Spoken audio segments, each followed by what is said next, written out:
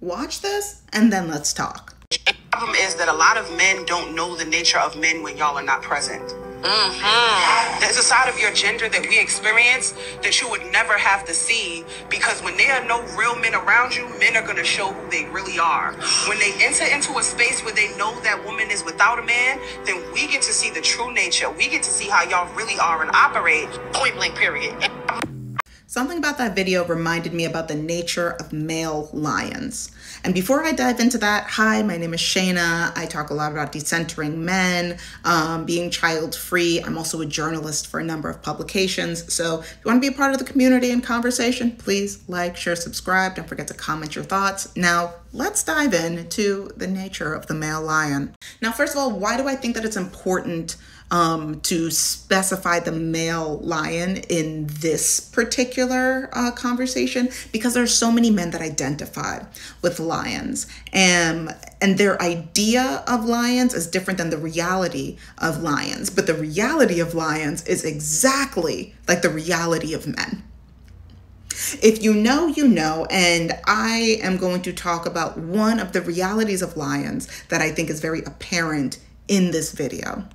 First of all, male lions, um, when like a little lion is born, there tends to be, you know, a little litter of them, and they are able to stay with the pride until they're about three, four years old, and then all of the male lions are kicked out, and you know, hey, you got to go figure, you got to go figure it out, my guy, because if they stay for any longer, they're to try and take over the pride that on its own says a lot, right? What's on my eyebrow? Who knows? Um, so there's that. That's not exactly what I'm going to be talking about. What I'm talking about comes in a little bit later because when male lions are out in the wild, they have the, a lot of the times they join up with either with other lions that are within that same age range and that other male lions that are roaming trying to figure out they're in their basically like adolescence and you know get bigger stronger. They do create communities right? Either within their same litter or from others. So that way they could hunt together they can get bigger they get stronger. Sometimes they play but eventually those playing can lead to fighting because a lot of the time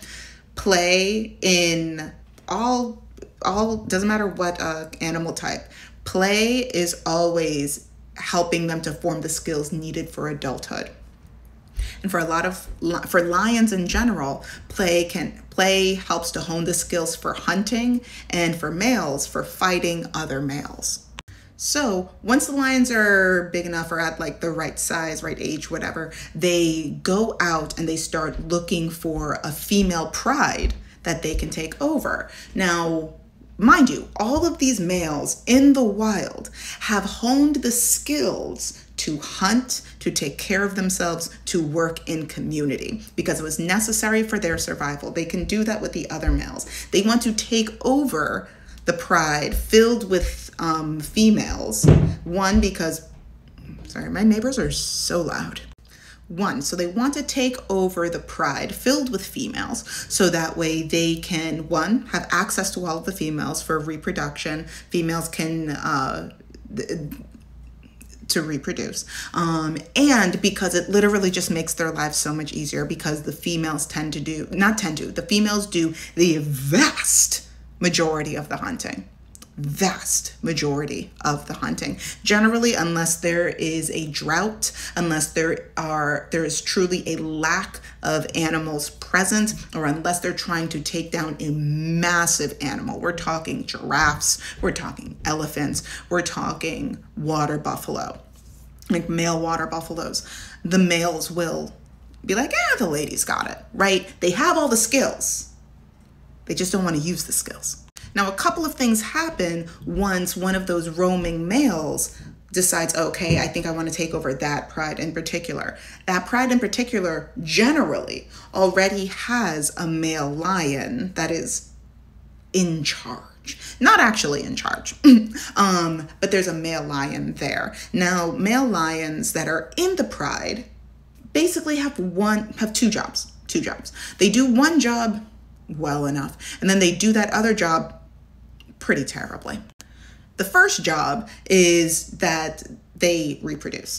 they they have lots of canoodling time with the ladies and then sire a litter. right? Now, the other part of that job is to make sure that that litter stays alive. And that's the part that they do pretty terribly. Now, that might not be entirely their fault because a lot of the times when, uh, well, first let's look at some look up some stats about the survival rate of lion of lion cubs. So first of all, according to the wildandfreefoundation.org, about 80% of cubs die. 80% of cubs die. Now, not to say that they all die because dad is slacking. Sometimes there's illness, sometimes there's injuries, sometimes there, and they're for the beginnings of their lives, um, like the very, very beginnings, the mom, the pregnant lioness also has to go out into the wilderness away from the from the family so that way she could give birth to the bait to her cubs. And they kind of have to stay away from the family for a little bit. They're very very small very delicate. And the their cousins their bigger ones they they play a little hard you know? They don't want she doesn't want them to be injured. Also there's like a whole acclimation process to introducing the cubs to the aunties the cousins the dad all of that. So mom has to go out. A lot of stuff happens to those babies when they're out there but ideally, by the time that they come back and reintegrate with the with the family, when all of the lionesses go out to hunt, the male lion should be there protecting the babies from from all that is out there. A lot of what is out there are the other males. So why do male lions have to be so big and strong and all of that? What what is the use of it? The use of it is that they protect the cubs from like animals and like other things, but also they fight the other males that come in wanting to take over their their um, pride. Because if another male comes in and takes over the pride, then they will kill all of the babies there because they're not theirs. And the lionesses, they don't become. Uh, sexually active again until all of the until their babies have reached adulthood. Like they are literally just not ovulating until their babies reach adulthood. So what is the only way to to fix this conundrum? Obviously you you destroy the babies right? And then, as soon as you destroy all of the babies, you look at all of the women and go, Don't you feel all hot and bothered? By all these dead babies. Mm. I can't stand them. I can't stand them. Now, as all of the lionesses are out there hunting, doing, and they also do the majority of the child rearing too.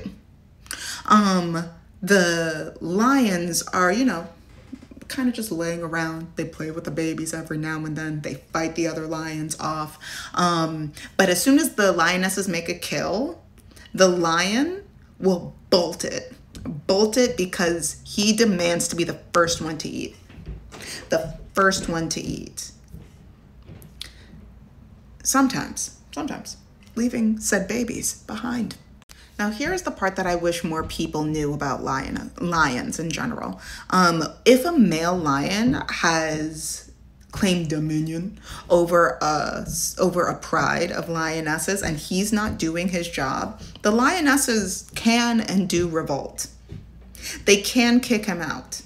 They will fight him to get him out. Sometimes those lionesses also go into the wild to lure in a bigger stronger male so that way he can kick out that lion if that lion is not doing his job now, I am under the impression that if the female lion is going out to lure in another, like bigger, stronger, more like productive male lion, that all the babies are grown. All the babies are grown. And they just are choosing not to reproduce with that one. It's, it's, that's the part that I wish more people knew about. But now, what does any of this have to do with the nature of men? You can see a man be super driven, forward thinking, active, productive in the wild around other men. He can get things done, right? But that's not who he wants to be. That might be the facade that he has created among his bros, but that's not who he wants to be necessarily Sometimes they just want to be that lazy lion. Sometimes they work hard so that way they can take it all off when the women are around and say, oh, now I get to be the princess I've always wanted to be. Now I can treat you the way that I always wanted to treat you. Because the men are gone and it's just me with my ladies. Now, in the very least, for lionesses, they have other women that can see what they're seeing. A lot of the times, it's just us in intimate space with a man who nobody else knows the truth about. Things to consider, things to consider. Now, I would love to hear your thoughts. Feel free to comment away. I will get to them as quickly as I can. It does take me some time, though, full disclosure. Um, and don't forget to like, share, subscribe, all that great stuff. And I'll talk to you guys later. Love to hear your thoughts. All right, bye.